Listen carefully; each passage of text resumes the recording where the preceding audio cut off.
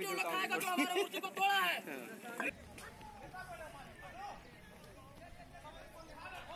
आज सुबह ये सूचना मिली थी कि माननीय अम्बेडकर जी की मूर्ति किसी अजय तत्व ने तोड़ दिया था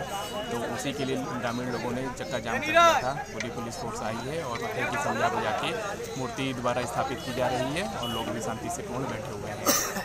कुछ लाठी चार्ज भी हुआ है उसमें कई लोग घायल भी हुए हैं बारी तत्व है जो माल को बिगाड़ने का प्रयास कर रहे थे तो हल्का बहुत हल्का बल प्रयोग किया गया और अब पूरी तरह से पत्रकारों को भी इसमें चोट आई है उसमें क्या कहना चाहेंगे अब इस तरीके के मामला संज्ञान में नहीं है उसका जाँच किया जा रहा है और अगर कोई दोषी रहेगा तो कार्रवाई की जाएगी